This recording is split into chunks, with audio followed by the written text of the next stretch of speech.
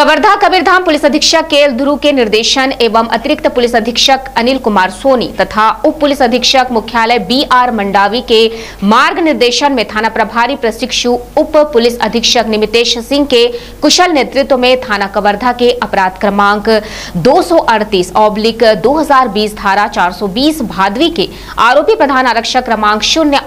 अनिल कुमार ठाकुर, पिता स्वर्गीय उमा शंकर ठाकुर, साकिन तीसरी वाहनी, अमलेश्वर दुर्ग छत्तीसगढ़ के द्वारा। प्रार्थी गढ़ों से छत्तीसगढ़ सशस्त्र बल में जीडी आरक्षक के पद पर नौकरी दिलाने के नाम से 11 लाख पचास हज़ार रूपए धोखाधड़ी किया गया था, जिसकी पतासाजी हेतु पुलिस अधीक्षक कबीरधाम द्वारा टीम गठित की गई थी। पुलिस टीम के द्वारा आरोपी का इंडोर स्टेडियम रायपुर में होने की सूचना पर घेराबंदी कर पूछताछ करने पर अपना जुर्म स्वीकार किया है, जिसे दिनांक 29 सितंबर को गिरफ़्तार कर जुडिशियल रिमांड पर भेजा गया है। उक्त आरोपी के विरुद्ध अभियुक्त स्थायी वारंट सक्षम न्यायालय द्वारा जारी किया गया था। स्थायी वारंट तामिल किया गया। इस कार्रवाई में थाना प्रभारी प्रशिक्षु, उप पुलिस अधीक्षक निमितेश सिंह, सौनी कौशल साहू, धन्ना सिंह, चुम्बन साहू, आरक्षक आरक्षक शमशेर अली, संदीप शुक्ल, बिशेन चंद्रवंशी, चालक आरक्षक भूषण साहू, नगर सैनिक अनिल पांडे, थाना कवर्धा का सराहनीय योगदान रहा।